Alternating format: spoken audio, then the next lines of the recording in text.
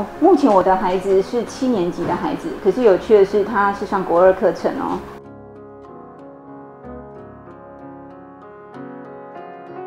我的孩子其实当初我是呃，就是目标是高中的科学班。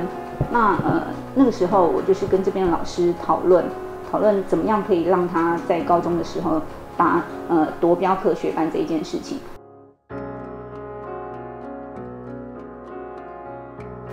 这边的老师就像就像四合院一样，怎么说呢？其实这样举例，不晓得大大家的感受如何？其实。是很有亲和力的，并且这这边的老师是很用心照料每一位孩子。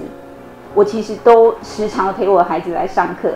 那我发现，譬如说，一群孩子里面，老师他就有这个能力，就告诉孩子：哎，你是那个 B 班的，你的第五题为什么算式写错？明明就不是他的班，可是每一位老师都很用心，他去了解所有的孩子的状况。